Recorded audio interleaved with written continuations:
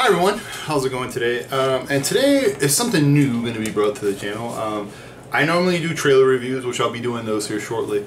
Um, but also I will be doing movie review, uh, like Netflix, uh, TV show reviews, whatever. Because I have Netflix and I was like, well, I'm watching all these episodes, why not put, you know, this on things. So today we're going to be talking about Supergirl. Um, season 1. Um, now, I'm not going to break down every episode, but I'm just going to go over some of the highlights of what I like. And please, down in the comments, leave me some of the things that you liked about um, the first season of Supergirl. Uh, first of all, I do really like the girl who, I don't know her name, but I really like the girl who plays Supergirl. She definitely has a good mix of, you know, downtown girl, you know, hometown farm girl slash, you know, things like that. So um, she's not she's a pretty girl, but she's not overly pretty. So they didn't, you know, she's saying she can act and stuff like that. So I really like that. Um, I like all the people. I like Winn.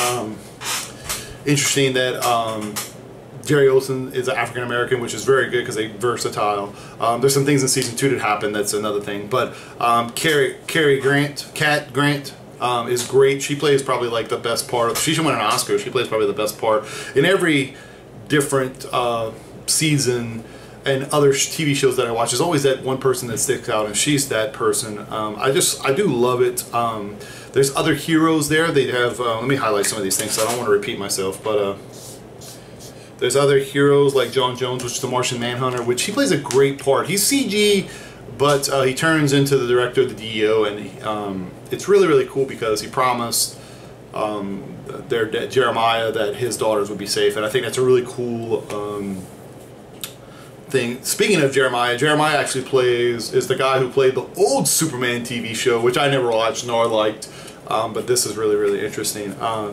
and then it's cool because Superman. It's interesting because Jeremiah plays the dad of the two girls, which is Supergirl and um, Alex. But Superman is he, there, but you never get to see him in episode um, season one. Um, you kind of see him, he flies when Myriad takes over, and then she types him on the computer.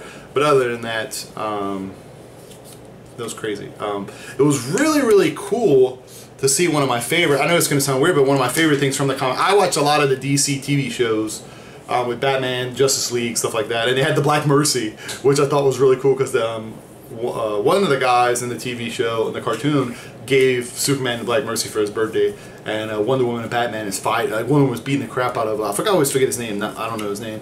But uh, and Batman's trying to get him off and tell him, hey, look, you know, this is it. So. Um, oh, they have a Brainiac which is the woman version of Brainiac. So I don't know, is there, in this universe, is there multiple versions of Brainiac, or is there not multiple versions of Brainiac? That is the question of the day. so, um, Max Lord is also a very good character. He plays like a Lex Luthor type of guy. Um, really, really interesting. Um, I'm really excited to see where he goes further. Even though I've seen episode two already, but still, he's he's a good guy, really smart, builds stuff, cool stuff. And also the Flash from the other, which if y'all want to see the Flash, like I said in the comments, post the Flash, the Arrow, any of the any of the hero uh, episode ones. I definitely don't mind doing the next one. You guys can pick. Um, but the Flash appears in one of the episodes, and she. Uh, kind of got a crush on him, and, and it's really weird because they're both kind of nerdy, but uh, interesting enough, Olsen gets mad. So that's what I think about season one of Supergirl. I am super stoked to get to season two, so I'm to start watching that soon. Um, and there's going to be more of these uh, episode review TV shows, episode, you know, things like that. So let me know what you think. Don't forget to hit the thumbs up, and don't forget to subscribe for more content. There's plenty of other things that if you guys enjoy those things. Boom, Supergirl!